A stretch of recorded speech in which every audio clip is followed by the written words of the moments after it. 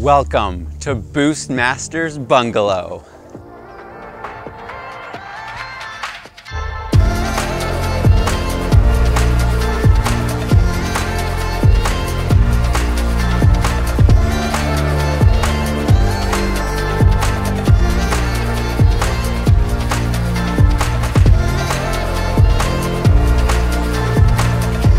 So this is my new home and I couldn't be more excited. So you read the title right, I am now a property owner. It's actually a co-ownership with my brother. See, I would not have been able to get this on my own. It's 10 acres of land and has a lot of variety. Smooth, loamy forest floors, hills and plateaus, a creek, big cliff sides, big rocks and boulder fields, we are going to be having a lot of fun out here in the coming years, building all sorts of bike features, trails, jumps. Honestly, there's so much potential out here and a blank canvas to work with. This is going to be epic.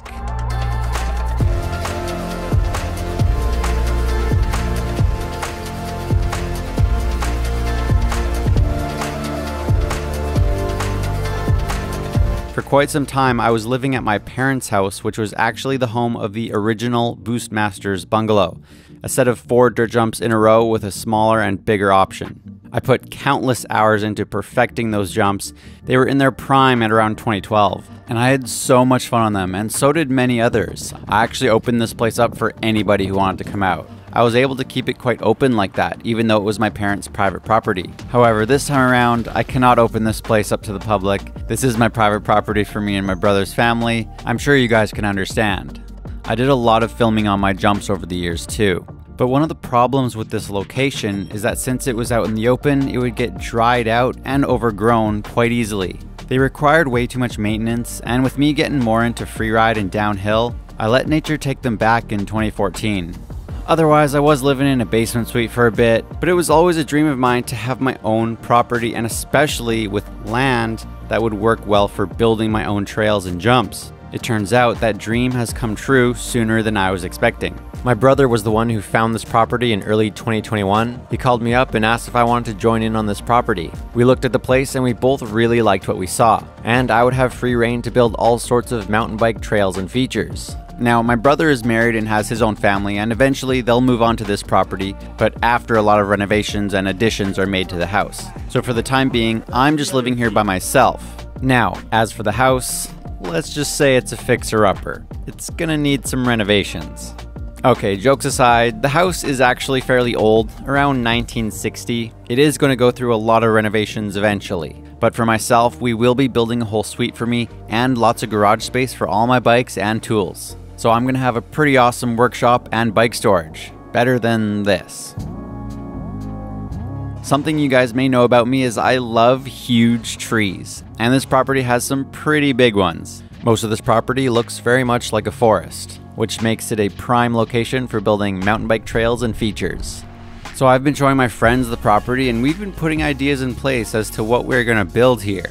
So right by the house, we have this nice hill where you can build just about anything from tame greens, a pump track, to big double black drops and jumps if I want. My brother does have four kids, so they will be enjoying the fruits of my labor as well, so I'll make sure that they have fun stuff to ride. I'd cleared away some lines where it's just a matter of building up some features like berms and jumps on them. So the cool thing is, as you get further away from the house, it also gets more gnarly. Yeah, I like that little like rock sticking out of the edge, over the edge. Oh yeah. Yeah. You have a, you have like a whole run in. oh yeah, There, huge in. like or even over there, and then you just pedal as hard as you can, and if you build it right, launch it. like I'm talking about like a lip, when you're landing there. Yeah, actually that that could work. No, it will, it will work. Like what could we do with these rocks, huh? All of the things. All of the things. Oh, land in here and ride out. Like there's, Yeah. there's so many options. Yeah, more big cliffs, massive rocks everywhere. Some of my favorite features on this property come further away. This is where we get into some of these boulder fields. All the rocks are covered in moss and ferns, so it's harder to see what we're really looking at. But imagine if we could build something with this. How insane would that be? Just all, just pure rock, right? Yeah. Oh yeah. Even if you could just like connect these with ladders. Yeah. Nearing the end of this place, we have a gigantic ravine, which kind of looks like a Narnia 2.0. Yeah, look What? at this. What? Wow. What the heck? That looks insane. That is big and epic. That is. Oh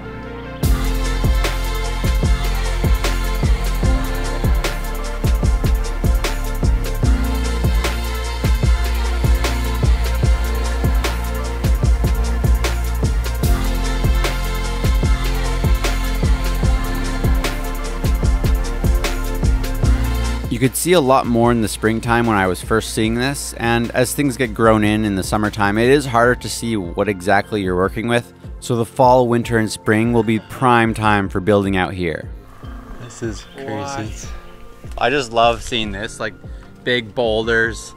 I will also be making some local friends out here. There are a lot of creatures and wildlife around. There's deer, especially in the summertime. There are some owls around. I even caught a bobcat once on my security camera, and a skunk as well. Of course, there's raccoons around, and of course, there are coyotes, which I haven't seen, but I've definitely heard them at nighttime. But there is something even bigger that likes to walk through our property. According to the previous tenants, there is a family of bears that could be seen walking through here from time to time. The bears might have walked through here. It just looks like some more fresh trampling. For the longest time, I've never seen any of them, but I did find their footprints. Until one day when I was filming for a thumbnail and I heard something in the distance. The bears The bears are there. I see the bears. It was actually just one bear, and I'm pretty sure it was the biggest one, the father bear. What the heck? I was almost a bit surprised how big it was. Some of those footprints were making sense now.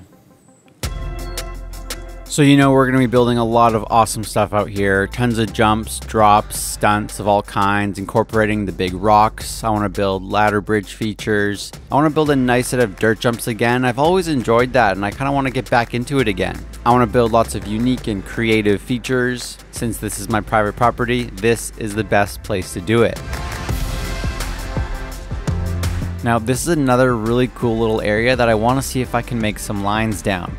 You see all these vines? While they look beautiful, they are an invasive species and they're gonna end up killing the trees that they're wrapped around. So it might be a good idea to cut some of these off. But also, what I want to see is what's underneath all these vines. Basically, it's all rock, and if I'm gonna see if there's any line options here, first we're gonna have to uncover these rocks and see what we can do with them.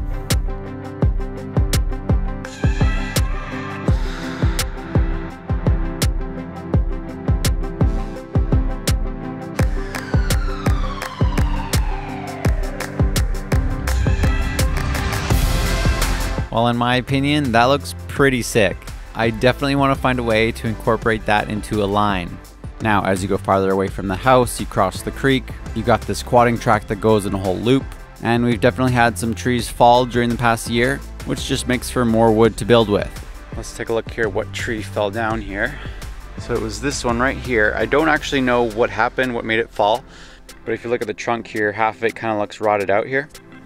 Now, as far as I'm concerned, I'm actually quite happy that this one uh, fell down because see that rock right there? It looks really fun to, to ride down that rock and make a line out of it. The problem is it runs right into this tree. Now we can get rid of that tree because it's dead anyways. And uh, we can make a cool line above this rock though. We've got more big rocks. Lots of cool steep stuff over there where we can come down this way and make our way through these rocks ride down this steep rock and out, maybe onto like a log ride. I don't know, there's lots of potential. You can really do so much out here, so I got my work cut out for me. There is quite a bit of rock to work with, which I think is really fun. I love rock slabs, and I just love making use of big rocks as trail features. This marks a new chapter both in my life and also for my YouTube channel. Obviously, having my own property like this is going to be amazing for content creation, as we have seen with some of my other friends in the YouTube world. So, where will my channel be taken next? I don't know about you, but I look forward to finding out.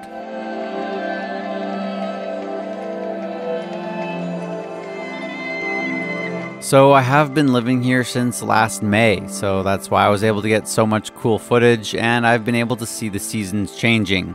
I really do feel very blessed to have this place. It's definitely a gift. I've also been meaning to show you guys this place sooner, but because I didn't get around to building anything on it yet for a while until just recently, I figured I didn't have much to show you guys.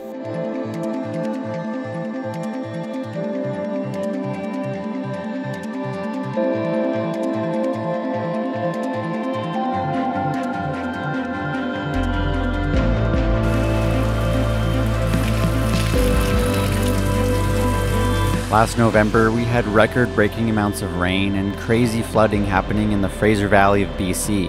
The heavy rains at my place did create a bit of a rock slide back at that ravine. All the rock used to be covered in green moss and ferns. And as you can see, a lot of rock has fallen down, even exposing some roots from the trees that were covered before.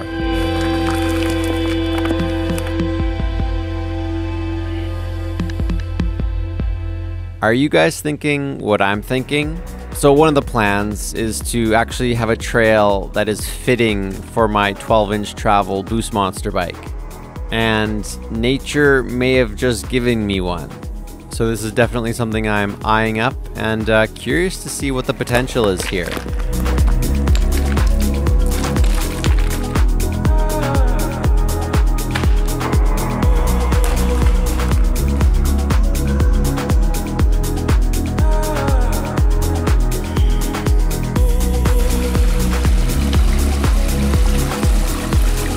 All right, guys, what do you think? Could this actually be my Boost Monster trail? Riding down a really steep ravine, all rock. How cool would that be? This is looking straight across.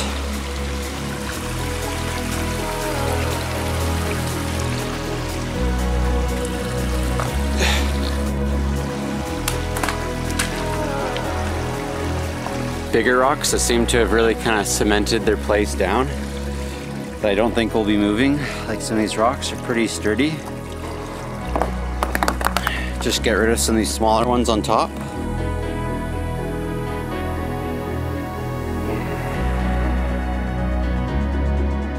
This winter I finally started to do some building on the property, and in my next video I'm going to show you what we've made. Otherwise, this year we're going to make a lot of the same content that you're used to, riding, free riding, bike parks, but we're going to be adding more trail building content, particularly here on my own property. I've also been building more on a new trail at our local mountain, so that's another whole project to show you guys. And we'll also be playing more with my Boost Monster bike and some old school setups once in a while.